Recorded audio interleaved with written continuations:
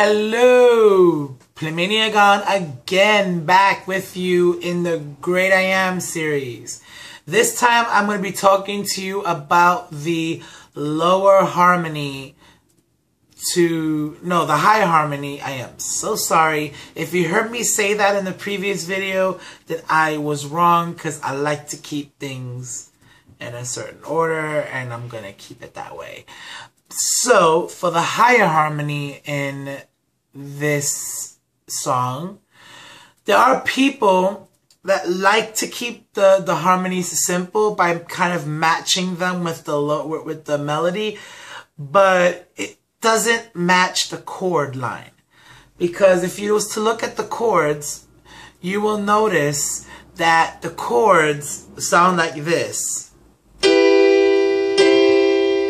if you notice, the the the notes has a note that shifts up.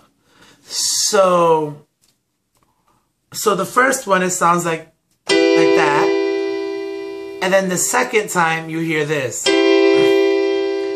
Because of that note shift, the higher harmony has to shift with the chords because when you're singing harmonies, that's all you're doing is you're going along with the chords.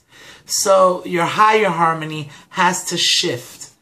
And again, I will point this out that I don't usually explain these things because in my previous videos, but because I'm able to rush because of a better system that I have of recording, I'm able to explain things a little bit more thorough. So I just wanted to point that out that because there is a shift in the notes from here to here, the, the notes must shift with your harmony. So when you're singing the notes, they must shift up. Now that doesn't change the starting note, it changes where the note ends. So I'm going to sing you the harmony and you'll see exactly what I mean. So, it'll go like this. Hallelujah.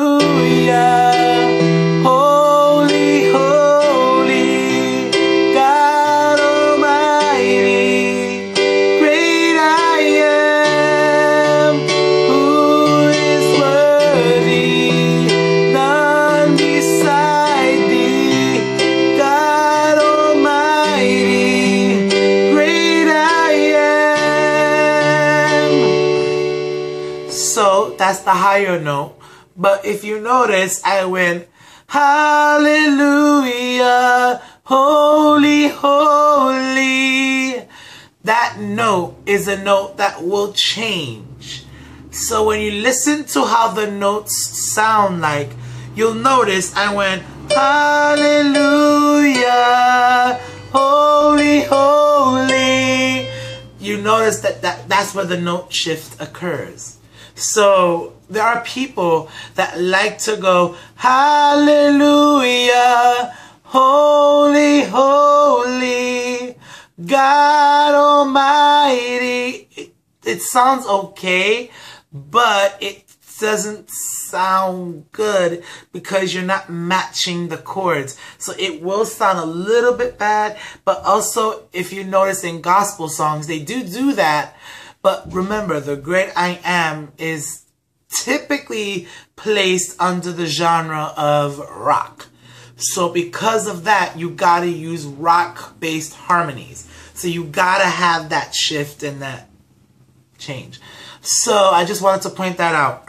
now as for the for the numbers, the numbers goes five five five three five five five four five five five three six six five. And then everything else just repeats itself the second time around.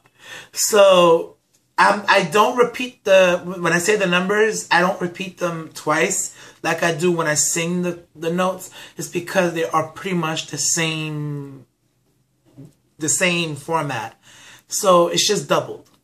So I just wanted to point that out to you. So I so I'm gonna leave you with that. I'm gonna get into the next video where I talk about the lower harmonies. So take care, God bless, and I will see you in the next series. Bye bye.